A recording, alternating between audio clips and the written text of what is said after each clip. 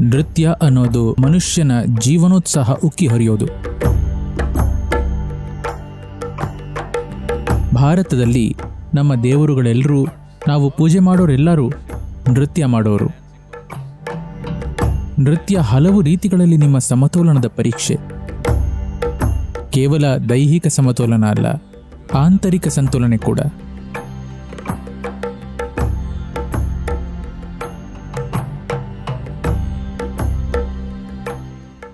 ನಿಮ್ಮ ಬಳಿ ಪ್ರಶ್ನೆ ಕೇಳುವ ಅವಕಾಶ ಕೊಟ್ಟಿದ್ದಕ್ಕಾಗಿ ನಾನು ಬಹಳ ಕೃತಜ್ಞಳಾಗಿದ್ದೇನೆ. ಸದ್ಗುರು, ನನ್ನ ಪ್ರಶ್ನೆ ಏನಂದರೆ, ಭಾರತೀಯ ಸಂಸ್ಕೃತಿಯಲ್ಲಿ ಔಷಧಿಯಾಗಿ ಪರಿಗಣಿಸಲ್ಪಡೋ ನೃತ್ಯ ಇದೆಯಾ? ಅಂದರೆ, ನೃತ್ಯಕ್ಕೆ ಮನುಷ್ಯನನ್ನ ಗುಣಪಡಿಸೋ ಸಾಮರ್ಥ್ಯ ಇದೆ ಅಂತ ನೀವು ನಂಬ್ತೀರಾ? ಬಹಳ ಧನ್ಯವಾದಗಳು. ನಿಮ್ಮ ಪ್ರಯಾಣ ಚೆನ್ನಾಗಿರಲಿ. ನಮಸ್ಕಾರ ಮಿಶಾಲ್. ನಿಮ್ಮ ಜೊತೆ ಮಾತಾಡಿ ಖುಷಿ ಆಯಿತು. ನೀವು ನೃತ್ಯಗಾರ್ತಿ. ಇದನ್ನು ನಿಮಗೆ ಹೇಳಬೇಕು. ನನಗೆ ಮೂವತ್ತು ವರ್ಷದ ಮಗಳಿದ್ದಾಳೆ. ಈಗಷ್ಟೇ ಮೂವತ್ತಾಯಿತು. ಅವಳು ಭರತನಾಟ್ಯ ಕಲ್ತಿದ್ದಾಳೆ. ಅದು ಬಹಳ ಜಟಿಲ ಮತ್ತು ಪರಿಷ್ಕೃತವಾದ ನೃತ್ಯ ರೂಪ. ಹಿಂದೆ ಅದು ಹೆಚ್ಚಾಗಿ ಭಾರತೀಯ ದೇವಸ್ಥಾನಗಳಲ್ಲಿ ಪೂಜೆಯ ಭಾಗವಾಗಿ ಬೆಳೀತು. ಅದೊಂದು ಅರ್ಪಣೆಯಾಗಿತ್ತು. ಇವತ್ತದನ್ನು ಪ್ರದರ್ಶನವಾಗಿಯೂ ಮಾಡ್ತಿದ್ದಾರೆ.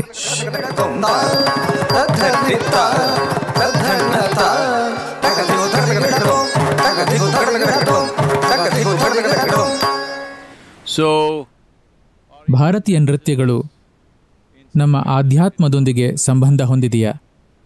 ಅಥವಾ ಅವಕ್ಕೆ ಗುಣಪಡಿಸೋ ಸಾಮರ್ಥ್ಯ ಇದೆಯಾ? ಅದರಲ್ಲಿ ಮನರಂಜನೆಯನ್ನು ಮೀರಿ ಏನಾದರೂ ಇದೆಯಾ? 100%. ಏಕೆಂದರೆ ಭಾರತೀಯ ಶಾಸ್ತ್ರೀಯ ನೃತ್ಯಗಾರರು ನೃತ್ಯವನ್ನು ಮನರಂಜನೆಯಾಗಿ ನೋಡೋಲ್ಲ. ಅದನ್ನೊಂದು ಪವಿತ್ರ ಕರ್ತವ್ಯ ಮತ್ತು ಪ್ರಕ್ರಿಯೆಯಾಗಿ ನೋಡ್ತಾರೆ. ಅದು ನಿಮ್ಮಲ್ಲಿರೋದಕ್ಕಿಂತ ಬಹಳ ವಿಭಿನ್ನವಾಗಿದೆ. ಬಹಳ ಪರಿಷ್ಕೃತವಾದ ಚಲನೆಗಳು ಮತ್ತು ಅರ್ಪಣೆಗಳಿರುತ್ತೆ. ಮತ್ತು ಬಹಳ ಜಟಿಲವಾದ ಕಥೆಗಳನ್ನು ನೃತ್ಯದ ಮೂಲಕ ವ್ಯಕ್ತಪಡಿಸ್ತಾರೆ. ನಿಮಗೆ ಅದರ ಕೆಲವು ವಿಡಿಯೋಗಳನ್ನು ಕಳಿಸ್ತೀನಿ. ನೀವು ನೋಡಿ ಅಥವಾ ನೀವೇ ಇಂಟರ್ನೆಟ್ನಲ್ಲಿ ನೋಡಬಹುದು. ಈ ಬಗ್ಗೆ ನಿಮಗೆ ಇನ್ನೊಂದು ವಿಷಯ ಹೇಳಬೇಕು. ಭಾರತದಲ್ಲಿ ನಮ್ಮ ದೇವರುಗಳೆಲ್ಲರೂ, ನಾವು ಪೂಜೆ ಮಾಡೋರೆಲ್ಲರೂ ನೃತ್ಯ ಮಾಡೋರು. ಅವರು ನೃತ್ಯ ಮಾಡಲ್ಲ ಅಂದರೆ ಅವರನ್ನು ದೇವರು ಅಂತ ಪರಿಗಣಿಸಲ್ಲ. ಏಕೆಂದರೆ ನೃತ್ಯ ಅನ್ನೋದು ನಿಮ್ಮ ಭೌತಿಕ ರೂಪದ ಜೀವನೋತ್ಸಾಹ. ನಿಮ್ಮ ಪ್ರಾಣಶಕ್ತಿ ದೇಹ ಜೀವನೋತ್ಸಾಹದಲ್ಲಿ ತುಳುಕ್ತಿದ್ರೆ ಅದು ಸಹಜವಾಗಿ ನರ್ತಿಸುತ್ತೆ. ಯಾವ ರೀತಿ ನೃತ್ಯ ಅನ್ನೋದು ಸಾಂಸ್ಕೃತಿಕ ವಿಷಯ, ಆದರೆ ಮೂಲತಃ ನೃತ್ಯ ಅನ್ನೋದು ಮನುಷ್ಯನ ಜೀವನೋತ್ಸಾಹ ಉಕ್ಕಿ ಹರಿಯೋದು. ಜೀವನ ಉಕ್ಕಿ ಹರಿಯದೇ ಇದ್ದಾಗ ಅಂತಹವರನ್ನ ನಾವು ದೇವರು ಅಂತ ಹೇಗೆ ಕರೆಯೋಕ್ಕಾಗುತ್ತೆ? ಹಾಗಾಗಿ ನಮ್ಮ ದೇವರೆಲ್ಲರೂ ನೃತ್ಯ ಮಾಡೋರೆ. ಅದು ನಮ್ಮ ಸಂಸ್ಕೃತಿಯಲ್ಲಿ ಆಳವಾಗಿ ಬೇರೂರಿದೆ. ಆದರೆ ಭಾರತ ಅಂದಾಗ ಅದು ಒಂದು ವಿಷಯಕ್ಕೆ ಸೀಮಿತ ಅಲ್ಲ. ಭಾರತ ವಿಸ್ತಾರವಾದ ದೇಶ. ಒಂದು ಸಮಯದಲ್ಲಿ ನಮ್ಮಲ್ಲಿ ಹತ್ತೊಂಬತ್ತು ಸಾವಿರ ಭಾಷೆಗಳಿದ್ವು. ಕೆಲವು ಕಿಲೋಮೀಟರ್ ಡ್ರೈವ್ ಮಾಡಿದರೆ ಸಾಕು. ಜನರ ರೂಪ, ಊಟ, ಉಡುಗೆ ತೊಡುಗೆ, ಸಂಸ್ಕೃತಿ, ನೃತ್ಯ, ಸಂಗೀತ ಎಲ್ಲ ಬದಲಾಗುತ್ತೆ.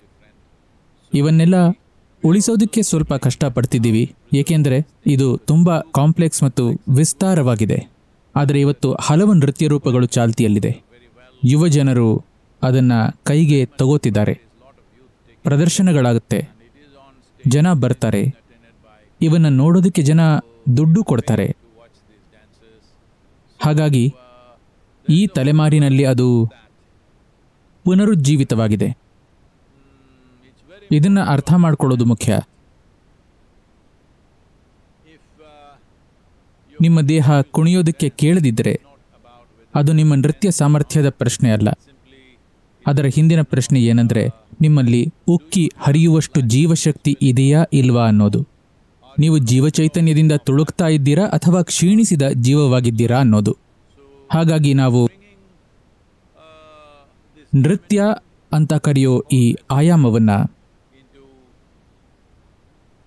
ಸಣ್ಣ ವಯಸ್ಸಿನಲ್ಲಿ ತಂದರೆ ಬೆಳೆಯೋ ಮಕ್ಕಳಲ್ಲಿ ಸಮತೋಲನ ಕಂಡುಕೊಳ್ಳೋದಕ್ಕೆ ಬಹಳ ಒಳ್ಳೆಯದು.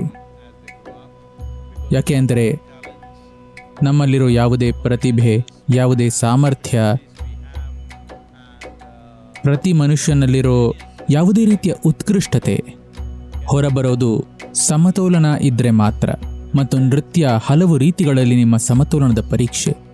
ಕೇವಲ ದೈಹಿಕ ಸಮತೋಲನ ಅಲ್ಲ, ಆಂತರಿಕ ಸಂತುಲನೆ ಕೂಡ. ಸಂತುಲಿತವಾಗಿಲ್ಲದಿದ್ದಾಗ ನರ್ತಿಸಕ್ಕಾಗಲ್ಲ. ಹಾಗಾಗಿ ಇದು ಎಲ್ಲ ಸಂಸ್ಕೃತಿಗಳಿಗೆ ಬಹಳ ಮುಖ್ಯ. ಅದನ್ನು ಮರಳಿ ತರಬೇಕು. ಅಮೆರಿಕದ ಮೂಲ ನಿವಾಸಿಗಳ ನೃತ್ಯವನ್ನು ನೀವು ಮರಳಿ ತರ್ತಿರೋದು ಅದ್ಭುತ. ನಾನು ನಿಮ್ಮ ಸಣ್ಣ ವಿಡಿಯೋ ಒಂದನ್ನು ನೋಡಿದೆ.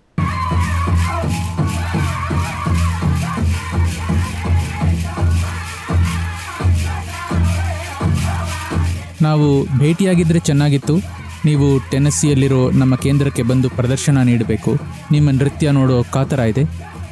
ಆ ಭಾರದ ಗಂಟೆಗಳನ್ನೆಲ್ಲ ತೊಟ್ಕೊಂಡು ಕುಣಿಯೋದು ಕಷ್ಟ ಇರಬೇಕು. ನೀವು ಚೆನ್ನಾಗೇ ಮಾಡಿದ್ರಿ.